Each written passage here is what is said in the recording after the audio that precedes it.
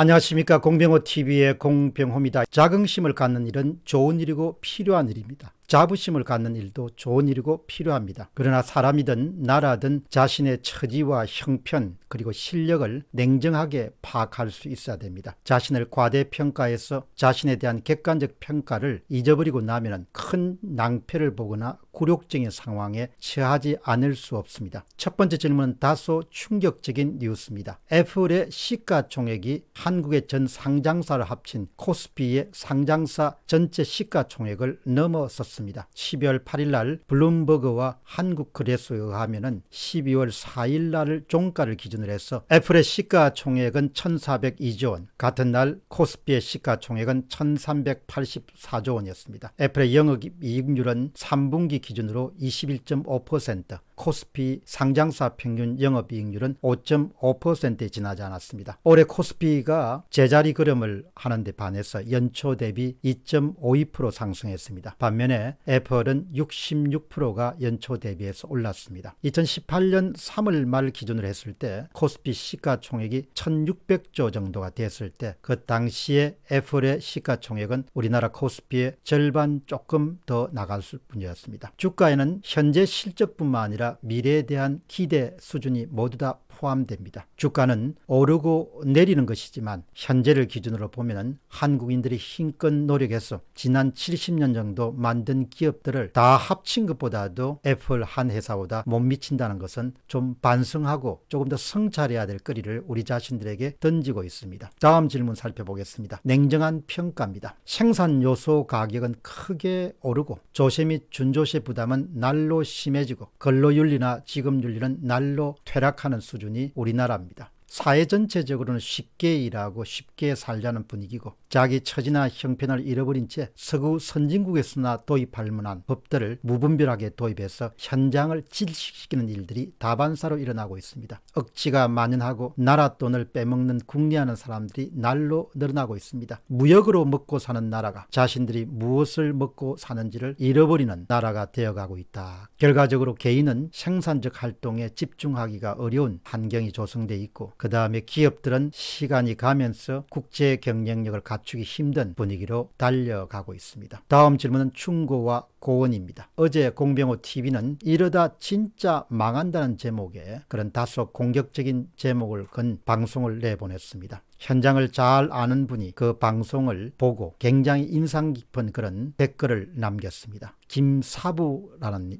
분입니다. 한반도는 오래전부터 무역으로 먹고 사는 나라였습니다. 무역, 그것이 바로 우리가 세계 최장 근로시간 극심한 경쟁사에 살아갈 수밖에 없는 이유입니다. 불평불만 할 필요도 없습니다. 자원을 가진 나라는 사정이 많이 다를 것입니다. 무역은 경쟁으로 이길 수밖에 없습니다. 그것이 조금 더 빠르게 조금 더 잘 정보전 이런 것들을 의미합니다. 즉 늘 어뢰 위치에 있으며 어느 순간 일이 잘 풀려 갑이 되었다가도 경쟁자에 의해서 언제든 을이 될 수도 있음을 의미합니다. 기업을 창업한 창업주들이 다들 그렇게 움직입니다. 움직여 지금의 기업을 만들었기 때문에 그 밑에 직원들은 줄줄이 말할 필요도 없습니다. 우리는 우리의 특수성 안에서 어느 정도는 받아들이고 살아가야 됩니다. 그러나 기업을 운영하는 사업주는 언제든 어뢰 위치가 될 수도 있는 극한의 경쟁 사회 속에서 필사적으로 노력하는데 그 밑에 근로자들은 이제 갑을 넘어서서 슈퍼갑이 되려 합니다. 그게 이 나라의 뼈아픈 현실인 것입니다. 우리는 남들보다 빠르게 남들보다 앞서서 남들보다 좀 더 일해야 먹고 사는 나라입니다. 원래 그래 왔습니다. 정신들 좀 차립시다. 한국인들이여 이러다 정말 나라가 망할 것입니다.